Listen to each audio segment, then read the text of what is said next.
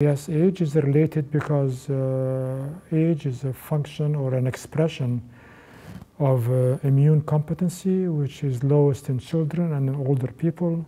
Yeah, demographics, of course, of course affect the um, uh, health education and nutritional uh, exposures uh, to infections, um, whether they're animal-borne or plant-borne.